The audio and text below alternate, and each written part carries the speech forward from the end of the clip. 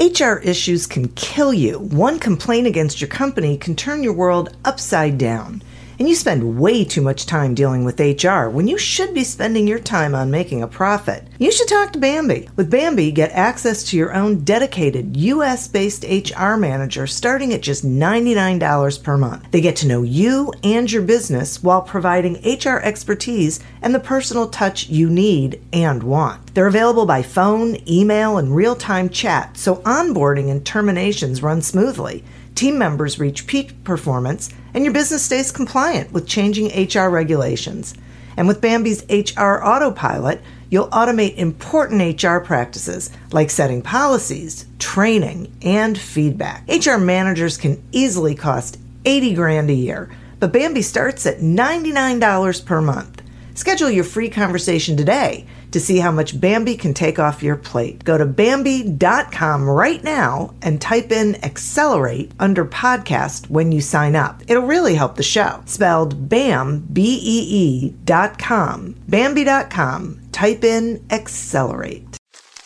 Me, me, me, me, me, but also you.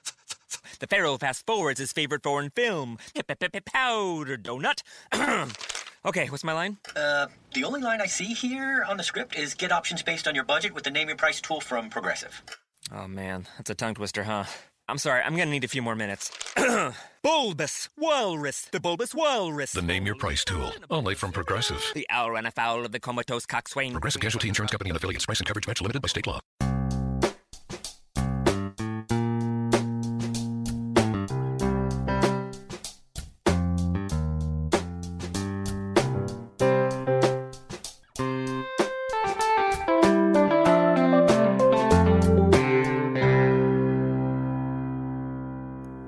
Welcome to Accelerate Your Business Growth with your host, Diane Helbig.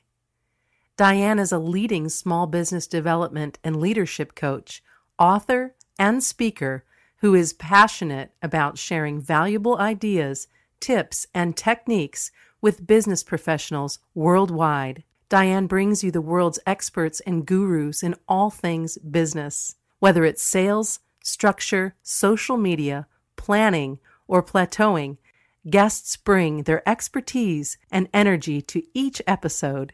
When growing your business is your focus, Accelerate Your Business Growth is the show to listen to. Got a topic or guest suggestion? Let Diane know. The goal is to make sure you have the information you need to move your business forward. Thanks for joining us. Settle in and enjoy. Hi, everybody. Thank you so much for joining me. Today's podcast is sponsored by audible.com. Go to audibletrial.com slash business growth and you can pick up a free trial of audible.com where you can explore not only the audiobooks, but all of the content that they have there. Uh, it's a fun adventure and I think you'll be pleasantly surprised. The Accelerate Your Business Growth podcast continues to gain recognition as a great resource for small business owners, sales professionals, business leaders uh, of all sorts. And that is because of the guests. These are folks who have expertise in particular areas of business, and they join me for a conversation where they share that expertise with all of you. Today is no different. My guest today is Brian Margolis. Brian is a former environmental scientist turned entrepreneur and author of The Index Card Business Plan. His clients range from individual sales reps to Shark Tank entrepreneurs and Fortune 500 companies.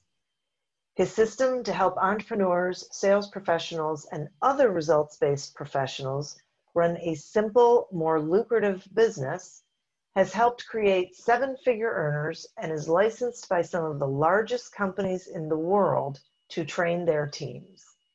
Thanks so much for joining me today, Brian. Uh, thanks for having me, Diane. I am thrilled to have you here. Um, I know that you're a big believer that uh, most professionals operate without a strategy, and I'm wondering if you would elaborate on that, please. Yeah, I, I think the experience that I have, not not personally, obviously it was this way personally, but as as I've worked with so many people now over the years, is that there's a lot of professionals out there who we can grind our way to a certain level of success when we kind of combine, you know, we combine our skills and our talents. We're good at what we do. We kind of combine that with our work ethic and, you know, even flying by the seat of our pants, we can achieve a certain level of success. But I still think even those people are operating without a strategy, meaning at a certain point, you hit a plateau where just working more hours or doing more of whatever got you there, sending 500 emails instead of 200 emails or whatever it is, it just, you realize that's not doing anything. And, you know, when, when I help these people, it's usually because they don't have a strategy. And, and let me be specific what I mean about a strategy, meaning they haven't figured out in advance, they haven't done the work in advance to figure out where they get the biggest return on investment for their time, right? And their mental energy. Uh, and so that's what I mean by a strategy, meaning you are very intentional about where your focus is so you can get the biggest bang for your buck. Yeah, boy, I get that. And and I agree with you. I, I it's so interesting that they it's like they hit the ground running and they just keep running and then one day they stop and go, okay, hang on a second. Where am I going? well, well the, the analogy, the analogy I like to use is like, you know, you have, you think of a fly, right? Mm-hmm. I mean, flies are good at flying. We literally mm-hmm. call them the fly, right? yeah. you know, they're fast, they're nimble. I don't think anyone doubts that they're good at what they do. And their work ethic is is uncanny, but you know, one fly winds up dead on the windowsill despite its talent and its work ethic and another fly just turns its body slightly right changes its focus of where it applies that talent and skill and it flies right out the door and so what you learn from these flies and, and what you learn you know over time is that being good at something and being successful are two different things huh and again, you can be good at your trade. You can be good at what you do. And again, dr- kind of grind your way to that certain level of success. But if you want to go next level, you need a strategy. Yeah. Yeah. Yeah, I, I get that. And so you, you've got this pillar system, and you say it's based on the concept of focus management. So, what, you know, explain what focus management is, please. So, when I talk about return on investment, you know, for your output, right? Most people think in terms of hours and time. Mm-hmm. And, and here's the truth on any given day, and everybody listening, including yourself, know this on any given day, you're going to run out of mental energy. You're going to run out of your ability to focus on cognitively demanding activities long before you run out of hours in the day. And so what that means is your limiting resource isn't time, it's not hours, it's that mental energy, it's that focus, mm. right? And so when I talk about focus management instead of time management, what I'm saying is you need the biggest ROI for that resource. If you're going to give your mental energy, your focus to something, you need to get a big return on it. And so the focus management thing basically says I want a strategy that produces results, right? The time management model is more of, you know, I want to fill every hour of every day, have yeah. a nice looking calendar, and I want a strategy to get everything done. And the people that are listening to this, they're not getting paid to get everything done. Right. They're getting paid for results. And so that's that's what the system that, that I use, that I teach, it's more about worrying about your focus as the limiting resource, not hours in the day. Boy, that's fascinating. That makes so much sense to me that, you know, what I say to people is you can't manage time, time is, you know, time happens. It's, it's really a constant, but you can manage your decisions around right. how you spend that time, right? So I'd like this idea of focus management and, and deciding what it is you're going to focus on. Um, because that feels like it's easier to actually then accomplish things. Well, I, I think you give yourself more wiggle room too. In other words, again, I, I, I know I said it, but so many people, their definition of a good day or a successful day is I worked a lot of hours, I crossed yeah. a lot of things off, right? My calendar was full. I, I really got after it today. And I think the reality is, even though sometimes it feels good to mark 15 things off your to do list, sometimes crossing off one, right, is yeah. is is more important than those 15 and so yeah. again you know it's this it's this recognition of what you already know that look there despite everyone thinking they're superman sometimes we're just not productive 8 hours a day. We're not productive 10 hours a day. Now i'm not saying there's not things you can't do in that time. There are low mental energy tasks that you can do mm-hmm. you can certainly be reactive you can certainly talk to people but I'm talking about the mental energy to be proactive, right? To to to focus on yeah. something proactively that needs to get done that doesn't have a consequence, right? Well, and I think a lot of people will say, because I hear a lot of people say, I show up with the best of intentions. And then at the end of the day, I look back and say, wow, I was so busy. I don't think I got anything done. Yeah, it's funny. You know, I, I work a lot on my copywriting because, you know, one, you know, as you know, one of the important things about business is not just having a good product or service or being helpful for people. It's letting other people know you're helpful, you know, that you have something of value, right? And right. One of the things that I used a while back that caught a lot of people was I said, Your days start off with good intentions, but and that was like that caught a lot of people right? And and that's i go back to the word i used a little earlier which is intentional. Yeah. Okay? Inten- you know one of the open secrets of success i mean there are secrets of success. The thing is nobody's hiding them they're right out in front of us right? One of the open secrets of success is planning your day and working your plan. Yeah and although you most people have actually heard this before I, I, I feel pretty confident that nine out of 10 people listening don't actually plan their day and then work their plan. They yeah. tend to start off with some kind of soft plan and then they react all day. They're reactive.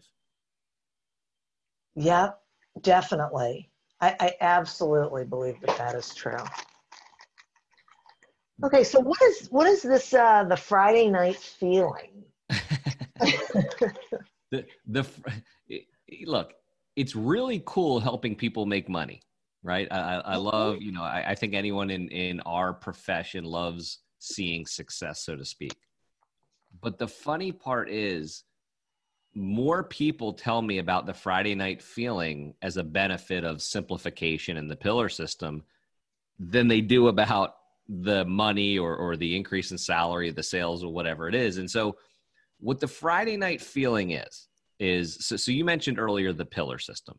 Mm-hmm. And all the pillar system does, it's, it's just a process that boils everything you could be doing with your time, right? And let's let's be honest, there's no shortage of things you could be doing with your time. You'd be writing a list for it, right? Definitely. Yeah.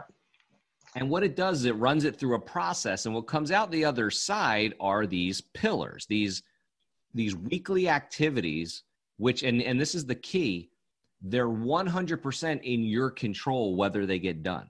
These are not goals, these are actual activities. And the way the system is set up is that as long as you complete those five, six, seven activities, right, depending on how many pillars you actually wind up with, everything else takes care of itself. And you know on Friday night, and this is the key, regardless of that week's results, you know on Friday night that you're done. You did what you needed to do that week, and your business is moving in the right direction. It's just a matter of time and pressure. And I think for people like us, results based professionals, no one actually ever tells us the day is over, the week is over, because there's always stuff we could be doing. Right. So the, the Friday night feeling is knowing that you did what you had to do. Got it. Boy, I can almost feel that. well, well, I mean, do you, do you do you remember you know the Flintstones, right? The, the yeah. Flintstones and and and Fred would be working on the dinosaur at the quarry, and the bird would squawk. And that meant, Yeah. you know, his shift was over. He slid down the dinosaur tail and, you know, he went home to Wilma. Yeah. But, you know, people like us, sales pros, entrepreneurs, results professionals, we don't get that squawking bird. Nobody tells us we're done. And so I think this is a healthy way of doing it, saying, look, Yeah. I did, regardless of all the little things, and I did what I needed to do this week. It was a good week. Because here's the reality if you measure your week based on lag indicators, you know, new clients, sales, you know, just depending on, on what business you're in, Mhm. it's very misleading. I mean, you can do all the right things, and the clients, the accounts, the sales, the whatever, just don't land because you know there's a cycle, there's a t- there's a time lag Yeah.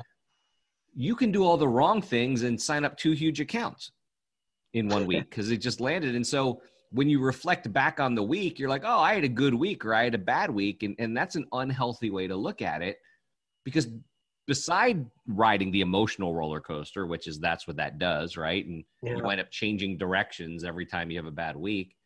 Um, you know, the reality is sometimes you are doing the right things and you don't need to change directions in other weeks maybe you aren't doing the right things and you should change directions so it's just a it's a different way of looking at your business focusing more on the process on the lead indicators not just the lag indicators Got it. Wow, thanks for that. That that is really fascinating and uh, has just you know so much impact to it. I'm going to take a quick sponsor break and then I want to continue. The Accelerate Your Business Growth podcast is happy to be sponsored by audible.com and while audible.com it you know has thousands of audiobook titles, they also have things like Audible originals and podcasts, and guided meditations, and so much more. And the cool thing is that you can get to all of that content in one place. You don't have to go to one place for audiobooks and then someplace else for guided meditations. It's just got this great, incredible library of content for you to enjoy. So we are offering you a free trial. If you go to audibletrial.com slash business growth, you can sign up for that trial and explore on your own. Find the things that resonate with you and favorite, you know, the things that you like and just enjoy. Today we're speaking with Brian Margolis about simplifying your strategy so you can maximize your results. Okay, so I'm loving this concept, and uh, you know, as you're talking about all these different things, I, I keep going back to that, um, you know, this focus management because I, I get it. You know, as you talk about this, I get it, and it really is so simplified that it, it doesn't have to be this big, complicated, um, you know, plan and strategy and and all of this nonsense. It's it really is relatively basic, right? Figure out what it is you need to get done in order to feel like you've gotten everything done on Friday and hold to that. yeah i mean i mean here's he- here's how most people operate. Most people they they're you know, maybe i'll set it up this way. Okay. a lot of us grew up in a generation including myself where hard work was emphasized right? It was a values thing. It was a morals thing. People wore with a badge of honor how late they worked or how busy they were. Right. and so, include for all of us, not all of us, but for a lot of us, including myself, even to this day, sometimes it's hard to do what Richard Koch, the, the, the billionaire, says, which is disassociate effort from reward, right?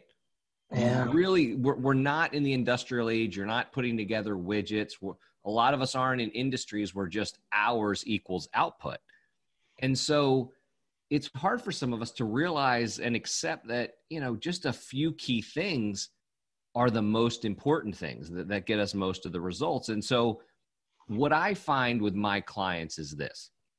And when i say my clients you can throw me right in there because this is something i developed for myself long before i decided to help other people with it. I mean i, I thought i was all over the place.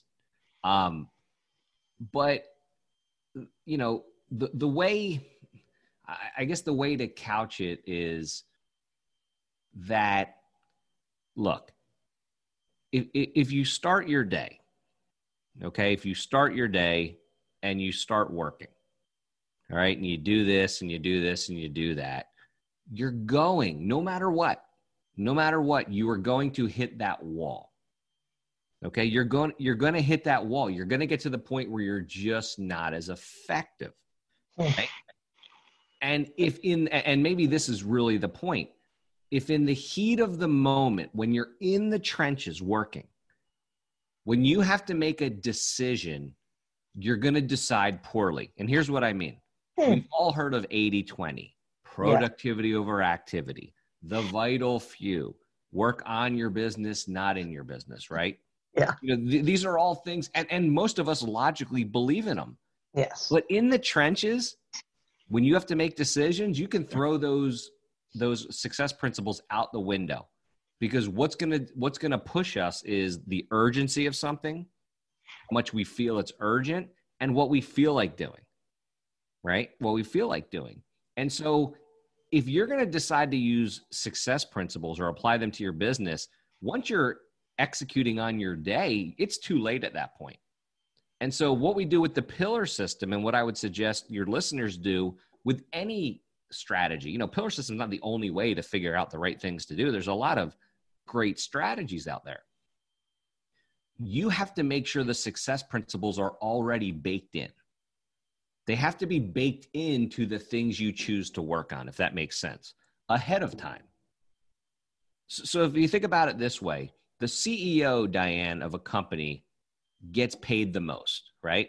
Yes. And some people think that's not fair. Yes. You know, I'm the one with the skills. I'm the one doing the work. I, you know, without me, this, you know, all that kind of stuff.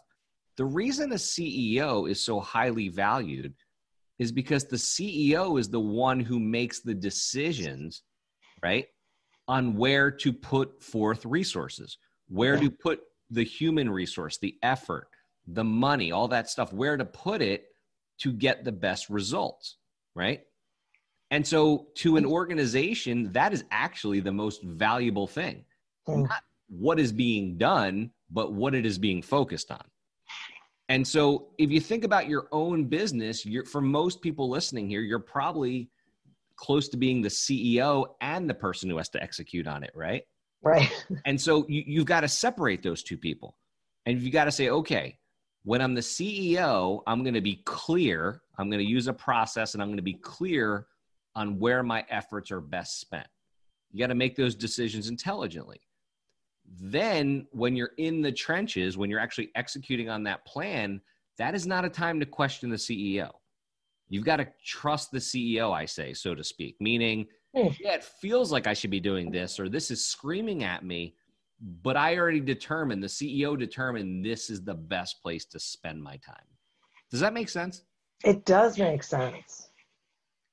And, and you have yeah. to learn to trust the CEO when you, yeah. when you do this right, the CEO of your business.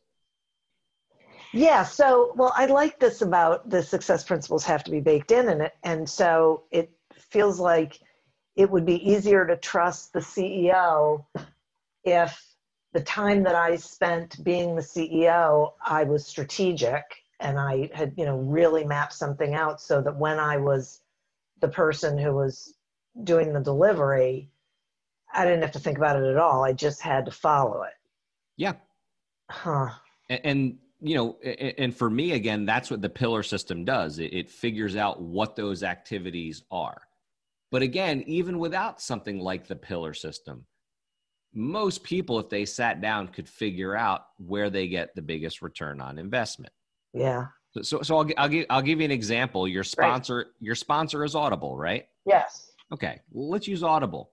Okay. A lot of people, they a lot of people who are successful, who are trying and trying to get better, they like to learn, right? Yeah. They they read books on marketing and sales and business and entrepreneurships. They listen to podcasts, the audio books, the the whatever, right? And so, you know, we call that kind of sharpening the axe, right? You should yeah. always be learning and getting better. Right. And that's great. And I think you should be doing that in your spare time, right? In, in your that that just kind of general knowledge in your in your leisure time, if you will. Okay. Right. Yeah. But here, here's where a lot of people I, I change it up on them. If you're going to take the time to learn something, to get better at a skill, okay, to get better at a skill, you can't just say, "Oh, I'm just going to read about this or, or learn about that." You've got to decide in advance, and I call these learning pillars. You've Okay. got to decide in advance if I'm going to spend two hours a week getting better at something, or an hour, or 90 minutes, or whatever it is. What should I get better at? What is what is actually going to give me the biggest ROI? Sometimes maybe you're a seven in a certain skill, but going from a seven to an eight or a seven to a nine, maybe the return on investment isn't that high. Whereas in another skill, you know, getting a little better at it could be a big return on investment. For example, I know I know you have a lot of sales professionals who listen to this, right? Yes. And a lot of them prospect using email, right? They identify their their qualified person and, and they write an email. Yeah. And I'm I'm amazed. Well, I'm not amazed anymore. I used to be amazed, but how many sales professionals have never even begun to learn direct response copywriting? To even learn the most basic skills of how do you write an email that gets responded to. Uh-huh. Now, I'm not asking them to be a world class direct response copywriter because if they were, Yeah. they'd be making crazy money, right? Yeah. They're about the most valuable people on the planet. But what I've noticed with some of my clients is you can go from a zero or never even heard of direct response copywriting, right? Yeah. To a two or a three. And the return on investment is huge because now you're actually getting responses to your email. They're not actually Right. just getting deleted. Whereas that that same person, if they spent 90 minutes a week working on their presentation skills, maybe they're already pretty good. Maybe going from a seven to an eight or an eight to a nine is nice, but doesn't have the ROI of the direct response copywriting. Does that make sense? Oh my gosh, that's a great example. Yeah, and, and so this is the idea of figure out in advance your biggest ROI, and that's you know, so to me the most important part of a learning pillar is actually choosing what you should learn, right? For me, learning website coding might help me if I get into a pickle, but it certainly is not the biggest return on investment for what I do. Right. Yeah, it's a hard thing to, to learn. And, and I think for a couple of reasons.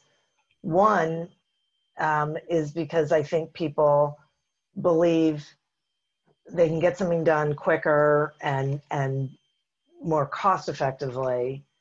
And it's that bright, shiny object thing, you know, that, that as entrepreneurs, we're distracted easily with things that look interesting.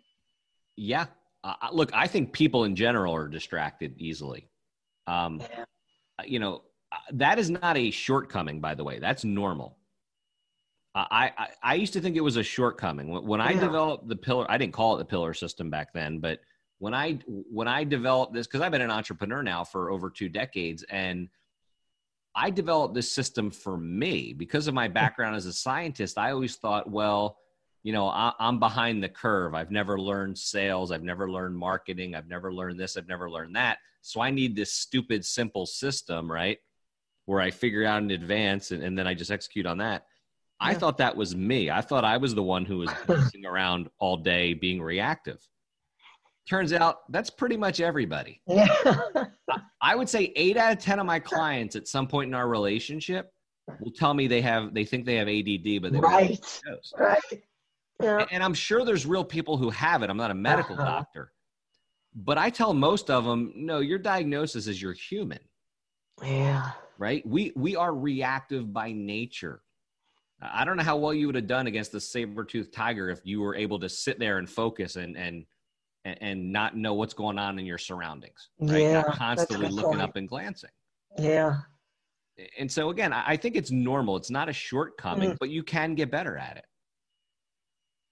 And that's really um, one of the things I'm picking up. And I love systems and process. So for me, this just makes so much sense that, okay, if I, if, if I can simplify my strategy, if I can have a system that uh, tells me where I should be focusing, you know, what I should be focusing on, and, and I decide what the things are that I want to accomplish, then it's easy for me to push the other things out when they creep in for the moment.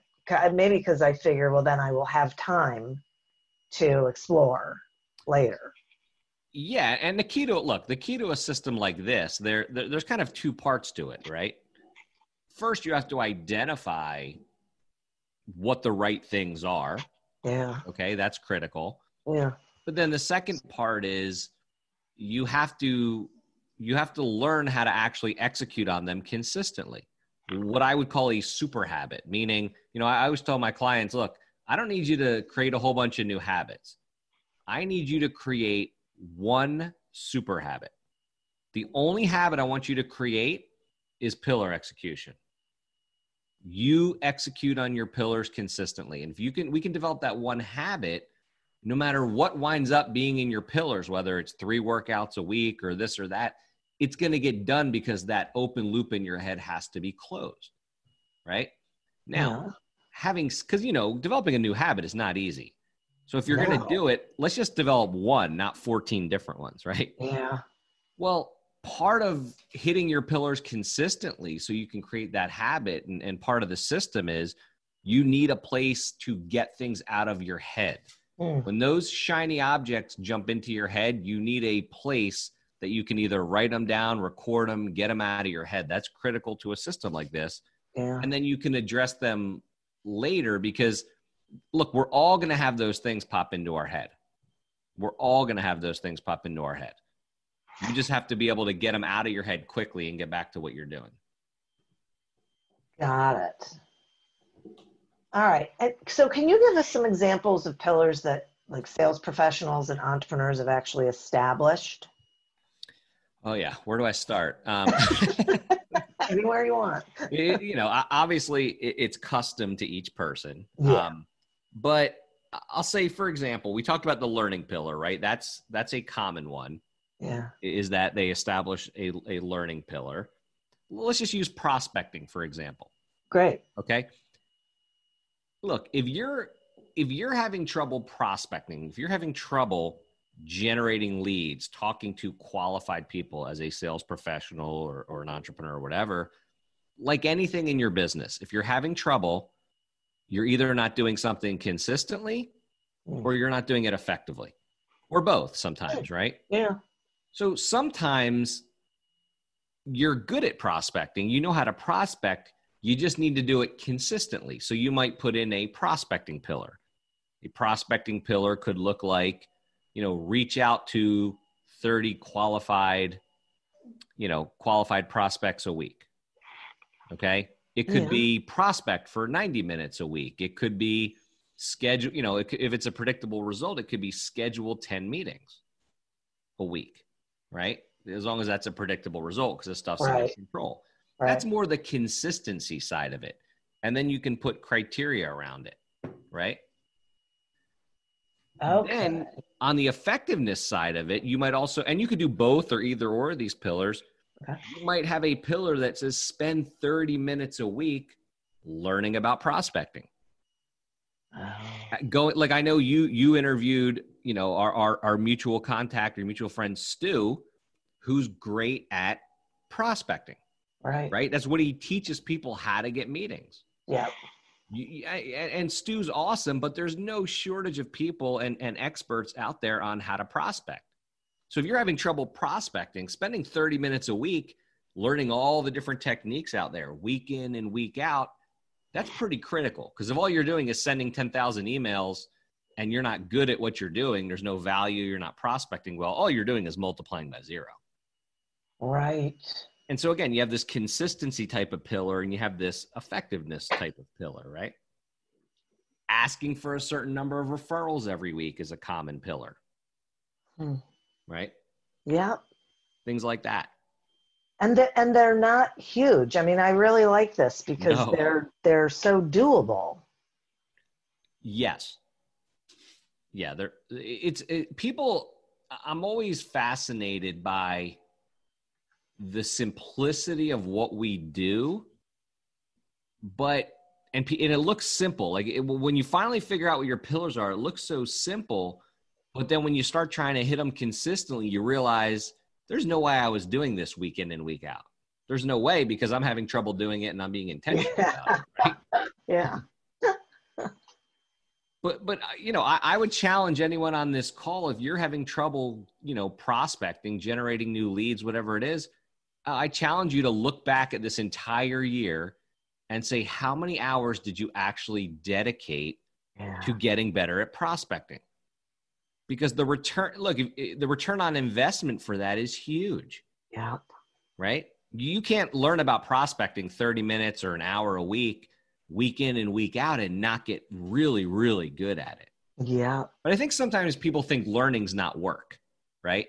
If I'm not sending an email or making a call or checking email or having a meeting or following up, then I'm not working. All that stuff about learning prospecting, getting better, that's nice when I have time. and I would challenge that no, I don't think there's anything more important than getting better at that. Yeah, that makes a lot of sense to me. I it's so funny when you were talking about prospecting and people saying, you know, I'm not good at it, whatever.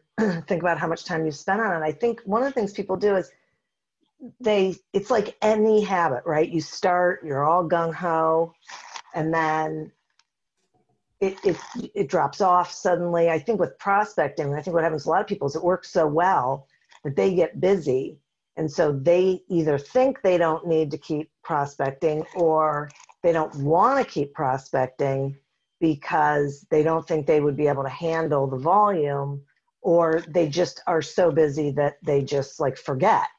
Yeah, they go into that boom and bust cycle. They prospect, Yeah. they get activity going. Now they're so busy handling prospects and customers and all that kind of stuff, they spin themselves right into a desert. Yep, They, they look up and all of a sudden they're like, oh no, now I got to start up again. right. If you can, here, here's what I always say about prospecting, and I don't know if we're too far off topic here, but you know, the in my opinion, the reason you you prospect is to raise your prices, right? You should always be prospecting. You should always be filling your pipeline. You know, Grant Cardone, and uh, I don't know if he's the originator of this, but he talks about you know filling your pipeline so full that it throws back up on you, right? Yeah. I I get accused sometimes. It's pretty funny. Like I'll be booked out for a few months or something, and then people say, "Yeah, but I still see you promoting this and that," and I go, "I'm always prospecting. Yeah.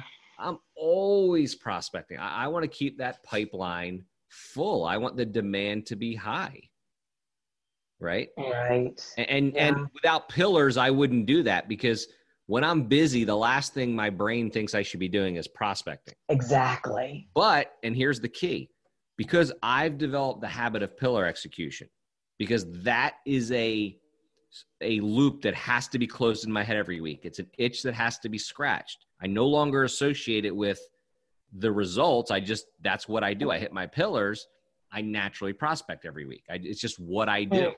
I don't feel right if it doesn't get crossed off. Interesting. So, wow. Okay, that's really interesting. This is a this is really such an interesting subject because it's so. Um, I was going to say simple, but I'm I'm not going to. I'm going to say simplified. That uh, it it feels like it should be easy to execute. We were just talking about how it really isn't, because once you start doing it, you realize that sticking to it is uh, what it really comes down to. But Well, also, I mean, I, I look, I simplifying the, the simplicity is not easy, but it's worth it. I guess is the way to look at it. hmm, yeah, that's interesting. Like when you think about a light switch, okay, a light switch is easy. You turn it off Yeah. and on, right? Yeah. That's simple.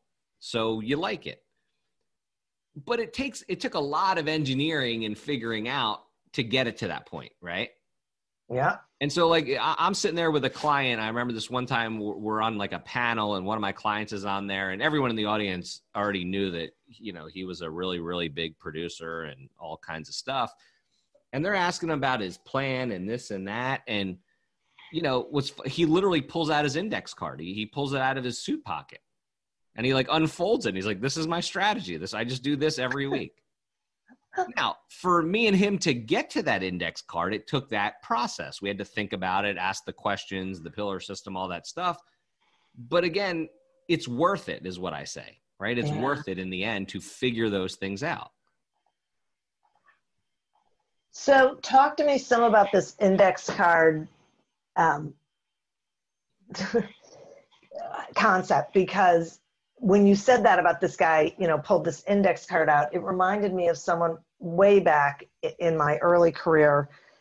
Um, I worked for a company, um, company that that um, did like data processing, and they had all of these old computer punch cards hanging around for some reason. And one of the owners used to walk around with com- a computer punch card in his pocket. And he would write himself reminders. He'd write himself notes on that thing. And it, it just reminded me of that. I mean, I it was years ago. I haven't really thought about it, Yeah. but uh, you know, um, Well, I look, I use I use I personally use an index card and, and so do a lot of my clients. Um, you know, some people listening to this, if they're younger, they might be trying to figure out where you download an index card Yeah. from. But you know, other other of us, we, we know what an index card is. Yeah. And look, I use it. You know, as an old coach of mine used to say, low tech, high check, right? yeah, But look, you can keep your pillars electronically. You can keep them in your apps. You you know whatever you whatever you need to do. But yeah, the idea of the index card is to is to stay focused and say and have that out in front of you and go look in the end this week when i'm being proactive when i'm being intentional when i have time to do things this is what i have to do and a lot of people naturally like to finish a list right yeah, and they can visually see it in front of them. They like to cross things off. And so that's what, you know, the pillars that I talk about, they're literally written on an index card. And the idea again is as long as you hit those four, five, six, seven, eight things, whatever it is for you, you had a great week. You can have the Friday night feeling. Now, I want to be clear. That doesn't mean there's not other things you you don't do during the week, right? yeah, But most of those things are already handled because they're what I call, based on Stephen Covey, urgent and significant, meaning they're important, but because there's an immediate consequence to not doing them, like showing up for a meeting or getting something in to finish a sale, we naturally do those things, yeah, right? When there's an immediate consequence, we handle it. That's what we do. It's the stuff that doesn't have an immediate consequence look, your paycheck's not going to change this week if you don't prospect, if you don't get asked for referrals, if you don't do those things that might be pillars of yours. And that's why those are the things that have to become pillars, right? Yeah, Because there's Yeah, no yeah. immediate consequence. You know, I always I always Wow. joke around and I say, look, you know, whatever you're thinking about having for lunch today, if you if it's healthy, don't bother. Go get a triple cheeseburger because I promise you, whether you eat a triple cheeseburger or you eat a kale salad, you will not look any different in the mirror tonight. Right. and if you're thinking about working out later, don't even bother because you won't notice a difference. Not today, not tomorrow. yeah, And so when you have these things that are critical to us, right? I mean, let's be honest, your eating habits, your workout habits, the compounding effect of that is your current health, yeah, right? But we're horrible as human beings on things that don't have an immediate consequence, which is why it's so easy to make those bad Yeah. decisions to not work out. And it's same in your business. There's these things that are critical to our business, but there's not an immediate consequence. And so if you're not intentional, whether you're using the pillar system or, or something else like it, of really boiling your business down to those things, you're not going to do them. Boy, no kidding. I really like that. If there isn't an immediate consequence, you have to be intentional about doing it. Well, think about anything that is wrong with someone's business. It's always in what I call the the proactive significant or the pro category, right? Again, Yeah. This is based on I forget if it was the uh, uh, it was the Eisenhower box and then it was Covey's quadrants and you know this stuff's been around. Yeah. I just kind of simplified it down to three categories. Um, but you know that's where everyone's problem lies. I don't have anyone calling me saying, Brian, here's my problem. I book these amazing meetings or I get these big potential clients or whatever it is. And then by the time three o'clock shows up, you know, I had a full lunch, I'm tired, I'm sleepy. And so I just don't bother showing up, right? Like, Yeah. I don't, no one tells me they have that problem because there's a consequence. They do it. It's Yeah. the stuff that doesn't have the consequence. Yeah. Yeah. Wow. This is so interesting. I, I really appreciate you coming on and spending this time with me. I, I it it um, is so clear. It makes so much sense, and I can see how valuable this thought process, this mindset can be for anyone in in sales or you know as a business owner to you know sort of stay on the stay on course. Uh, so thank you for that. Will you let the listeners know how they can find you, please, and your book and everything else you got I, going? I, I'll keep it simple, like I like to, right? just don't have to give a million handles and stuff. Just if you go to productivitygiant.com, Ah, you can grab a free copy of my book and you can get all my other resources there. Productivitygiant.com. oh my gosh, that is so great.